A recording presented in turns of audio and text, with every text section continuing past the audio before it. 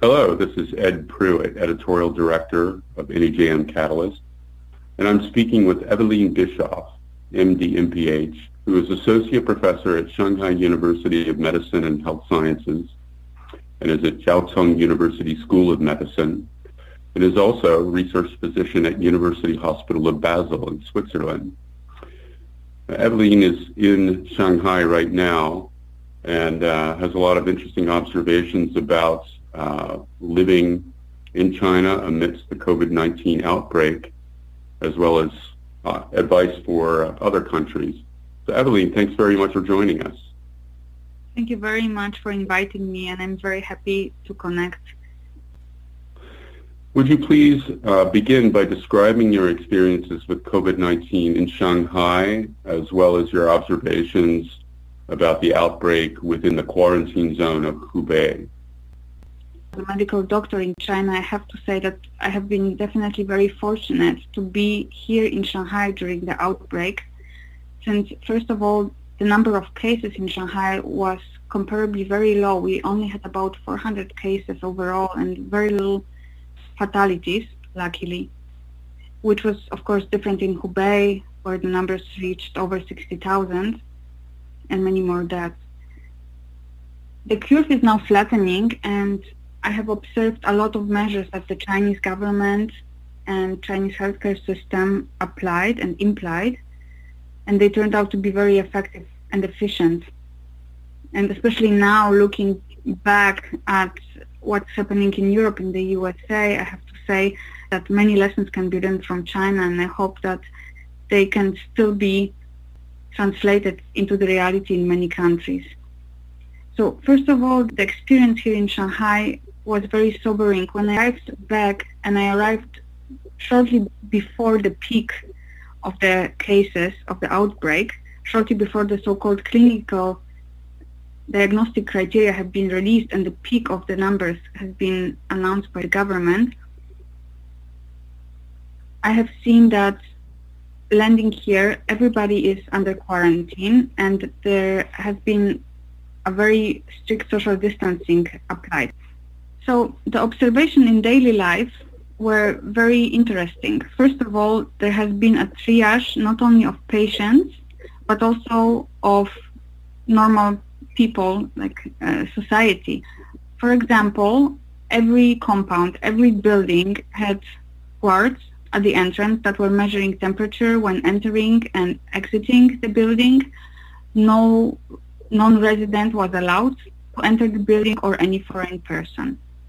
And similar strategies, very strict triaging was applied also for the hospitals.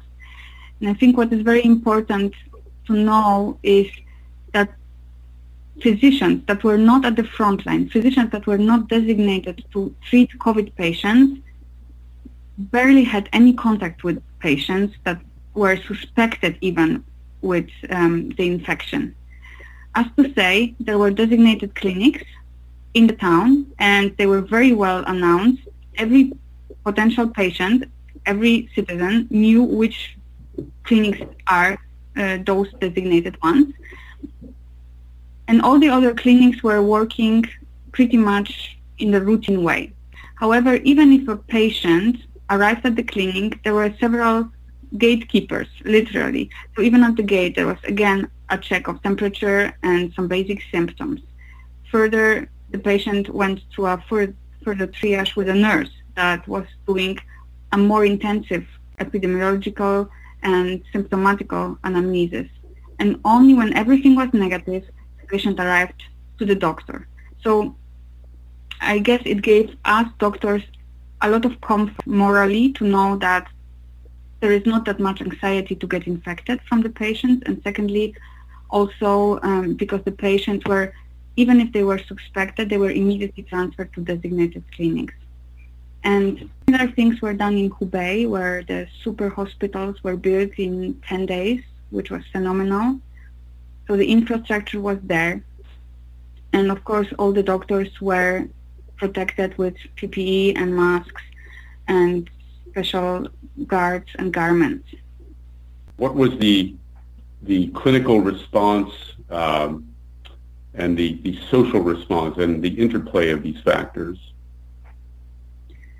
So this is a very important question. Thank you for asking it because I believe that the clinical response and the social response were very much interrelated and there was a balance between those and even a slight disturbance would probably lead to very fatal outcomes.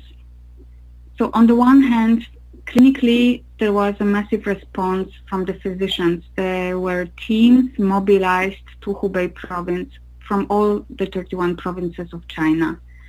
And not only physicians were going to Hubei to help out, but they also went together with the equipment. So ECMO machines were mobilized, CRTs, specialists, epidemiologists, everybody was mobilized. Then there were the radiologists that were working day and night because um, radiological findings, the CT scan was and is one of those criteria which actually can define a patient um, even before a serological test is being done. And this was very helpful at the beginning because we have to remember that all the things that we know now, we didn't know them back in January and February. Clinically, doctors were very well informed and the communication from the government down to the pay, to the to the physicians and also to potential patients and to society was very effective. There were clinical guidelines that were developed and updated constantly. I recall that we have received through social media and through our channels, the specific medical channels on WeChat, updates almost every day. How to treat patients, what are the updates on the clinical guidelines, what are the treatment guidelines, um, very, very strict triage guidelines, and so on. Of course, we were advised that in case if we have any symptoms, fever, whatsoever, we are supposed to stay home. Not even that, we are not allowed to go to the hospital. And mm. um, so this was definitely one of the very important clinical response. And nobody was forced to go to Wuhan to help out or to help in the designated clinics because as I mentioned, um, there were specific clinics to treat COVID patients. Um, and they were, so the patients with COVID were never melanged with normal patients, comorbid patients and so on. Mm-hmm. Um, on the social side, uh, what I have observed and what, it, which was extremely interesting is that the society responded very well the communication again was at the level of the health literacy, which cannot be assumed at, at a very high level. There is a big part of, of the society um, of older people, and even those were very stringent with the social distancing, with wearing masks. So we were not allowed to leave our homes without a mask, not even to mention going into a shop or any public space without a mask every entrance to every public space and even the residential houses uh, was always uh, with a protection, with temperature checking, with registration and so on. And even until now, and I think this is something that, that is important, even until now, all of all, everybody has a QR code, electronic QR code that we have to update every week, and this QR code is allowing us to go to specific places and there is a whole algorithm behind it. And although there was a shortage of masks, for example, just to give an example of a social response, I forgot my mask once in the elevator. And I was there with an older lady, an older Chinese lady. She said to me, you have to wear a mask for your own protection. And I said, I, I just forgot. I just said I don't have. She probably understood that I do not possess one she immediately took one out of her pocket, although it was such a valuable piece of, um, of, of important prevention, and she gave it to me. So socially, uh, people were supporting each other very much. That's fascinating um, and very stringent. Very when we were speaking before, you described, uh, you mentioned that you had uh, conducted a survey of Chinese physicians uh, could you please tell us about that? What were the goals of the survey and the respondents and, uh, and your findings? Sure, with, with pleasure. We were curious about how those physicians who are not at the front line, but those who are supporting the entire rest of the population medically cope with the situation, with the quarantine, with treating the patients under the constant fear of potentially being infected. And we had about 450 responses. And I, I would just highlight the, most interesting findings, which, which I found very impressive. So while the outpatient number was reduced for uh, of, of, about 50%, the inpatient um, numbers was pretty stable. And while about 50% of all the responders stated that they were afraid that they could be infected by their patients, they still continued working. And there were, and this might be also a very interesting point applicable for, for Europe and the US, there were available psychological support sites for physicians, specifically for medical workers, uh, among those also physicians. And about 20% of the responders stated that they actually needed psychological support during that time. And I was very happy to see that 80, 18% answered that they actually used them. So those were really in demand. They used the resources and the resources were in place. Um, something we learned from the SARS and MERS epidemics and that was translated into reality right now very quickly. There were very many options to get support. What we were also very interested in was to see if those physicians um, who who uh, were here in China, if they consider leaving medical profession, and or if they consider switching into being a medical professional but not in clinical settings switching, for example, to industry. And mm-hmm. we have consistently about 11 to 15 percent of physicians stating that they had those thoughts, they were hesitant, but at the end of the day, they did not uh, make any steps towards it. And last but not least, what we perhaps will be talking about also later is we have asked the physicians how much did they use digital medicine, telemedicine during that time.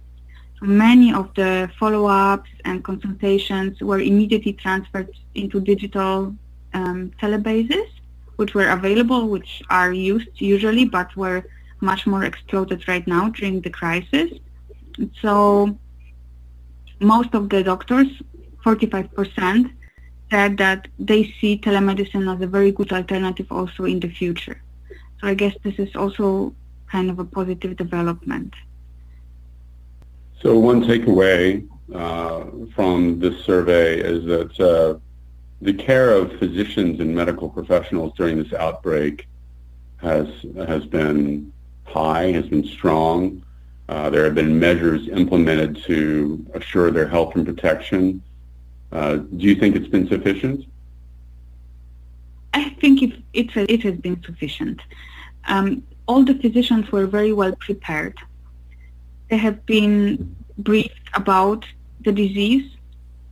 They have been constantly updated with novel updates, whatever there was in terms of research, in terms of guidelines, in terms of measures from the government. And they have been also prepared and given the free choice if they would like to really intensively help at the front line or not. And many of them did. So we see a huge solidarity and unification also during that time. So then what is your advice for hospitals and healthcare professionals in other countries? In other countries, I am looking at Europe and the US and I'm receiving a lot of questions from my peers, from colleagues, and even from doctors which I do not know, asking about clinical advice. And of course, my advice would be a maximal self-protection, but I know this is very difficult. Another advice would be, for example, to look more into the radiological testing while in several countries there is not enough, not sufficient amount of tests that can be performed in the clinic. But overall, I think my main message because all the other messages are out there and I know that it is very difficult from from many for many reasons to, to achieve that what China has done. I think what we should do is to look into the future because at this very moment we do not know what will be the long-term effects and side effects of this virus. We do not know what type of further organ tissue damage this virus might cause. We we assume that there will be a permanent lung damage and it's very possible, but we cannot really predict yet what be the next. And this is why I would definitely appeal that we should record as much data as possible, even if it's just clinical cases and outliners, because if we can create a big data set, kind of a multi-omics integration, then we can actually translate those data into health trajectory and can react faster in the future. And some of the questions are very, very, very important right now. For example, I have been asked if there is any good biomarker for the prognosis and prevention and for tracking the disease. At this moment, we really do not have it. We are using the very basic markers that we have markers of inflammation, which, which are not really very useful at the very moment. We do not have a biomarker of severity, so we do not really even have a strategy for a personalized treatment. So at this very moment, I would say this would be the highest priority, collecting as much data as possible.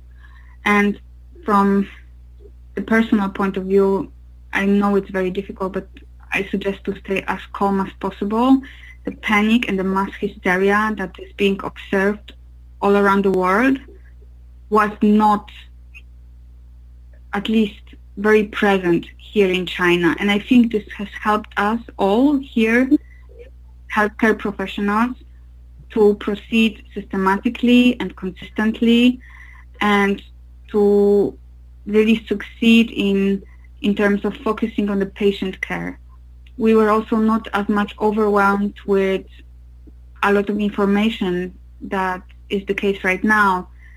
On the one hand, it's very good that there are so many clinical trials and so so much information coming from different sources. I guess on the other hand, it's very difficult to filter them, and we didn't have it at that time. And some of the information are very worrying. So I guess keeping focused on the medical care and also thinking about the future would be would be my core advice. Hmm. Very interesting. Thank you. Um, the importance of data collection for the future is it's not being widely discussed right now. So based on what you are seeing and hearing around the world, uh, are you optimistic or pessimistic about the course of COVID-19 over the next few months? I would say I am a little bit um, partiated. I'm relatively pessimistic about how the cases of fatalities will develop, and I guess any loss of life is tragic. So I would be hesitant in saying that everything will be fine, but there will be an end to it. And from the Chinese perspective, I can say in Shanghai, for example, um, life is getting back to normal. Although there are still very stringent policies in place in order to protect us all here and and also in terms of uh, global perspective from the second wave. So there are still very strict rules, for example, about the quarantine of people who are returning to China. They are extremely strict, uh, beginning already in the airport, and they have been evolving. So all the three months, this has been a constant, very process we have been learning about the tests. We have been applying the tests first um, in a centralized lab, then moving them into the clinics. The same was done for the triage. And now, for example, the returnees are um, being not quarantined in their homes as it has been done for the last three weeks, but only at designated places in the hospitals. Um, I think that's very important. And I think it is also important to look at the positive in order to be really optimistic. I think this epidemic has taught us a lot and put more emphasis on the healthcare in general. And at the end of the day, we realize how important medical profession is. So I hope that doctors will regain their confidence in, in the choice of their profession. And I think we see a lot of um, collaboration and coming together of biomedical research, and this is very important as a resource for the future. I think we have seen that many research funds also have been released very quickly, and there has been a lot of facilitating um, processes in terms of um, trials, initiations, and so on. We have seen that China has leveled to the West, or in terms of preparedness, perhaps even um, overrun the West in some terms. And I think um, what we see and what has um, received a big push through this crisis is personalized medicine and the use of big data and artificial medicine in order to in order to target hypotheses and, for example, um, rapidly discover drugs or even creating molecules towards new treatments. So this will allow us also in the future to very quickly repurpose the possibilities. And I think in this terms, China at the forefront. Uh, Ewelina, thank you so much. This has been fascinating, really informative. Uh, the uh, readers and listeners of NEJM Catalysts around the world will benefit. Ewelina Biskup from Shanghai, thank you for joining us. Thank you very much for having me. It was a pleasure.